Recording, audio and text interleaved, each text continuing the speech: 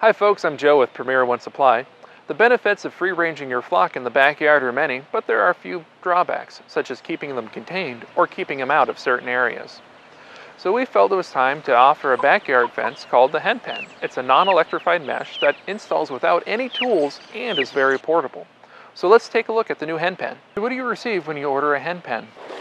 You will receive the non-electrified mesh. This comes in either 38 or 68 foot lengths. You'll receive double spike posts to support the net, and the number of posts is dependent on the length of the net you order. One gate post, a gate dock, caps for the post, and tent stakes and tiebacks to support it at corner. So let's set it up. We'll start by laying out our netting.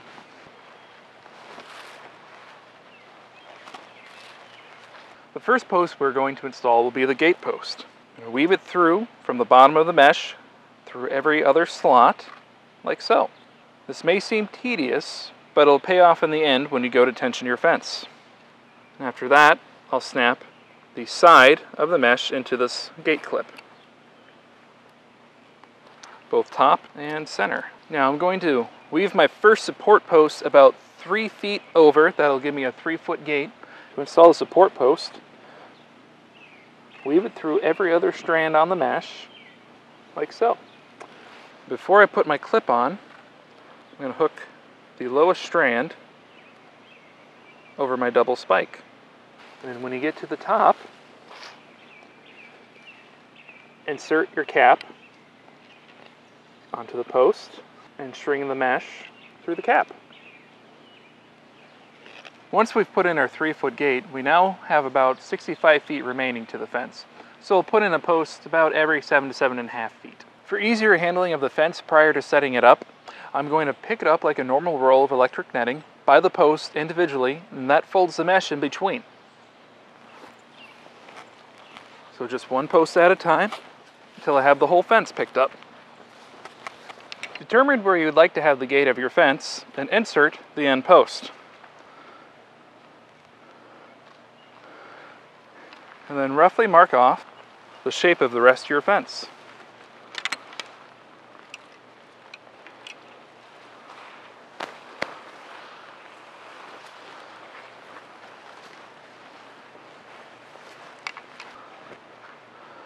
And we'll have a few adjustments to make before the rest of the fence is up. With the fence roughly outlined, it's time to install the dock.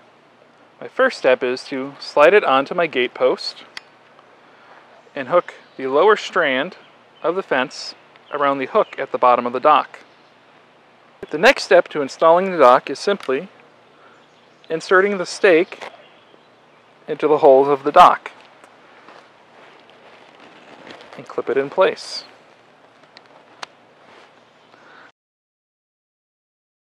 It's now time to set up the rest of the fence. To do so, just simply continue stepping in your post. And for adequate eye-appealing tension, it may take a few go-arounds to get everything nice and tight. But so far we're doing pretty good. Or I should say pretty well. Unlike electrified netting, sagging and grass contact is not critical but it's nice to have a pretty fence. Since I set up a relatively circular fence, I didn't have to use tent stakes or guy wires for added tension or support. But if I set up a rectangular fence, I would need to use those for that reason. And if I'm on uneven terrain, I would put a tent stake at the bottom strand here to help keep the bottom of the fence close to the ground. That way it'd be difficult for hens to lift up the bottom strand and go under. And now that I'm done, I need to get out of my pen. To do so, just simply use the gate, unsnap the clips, step on through, and reconnect. If you have any questions about electrified or non-electrified fencing, please give Premier a call at 1-800-282-6631 or visit our website at premieronesupplies.com. Have an excellent day.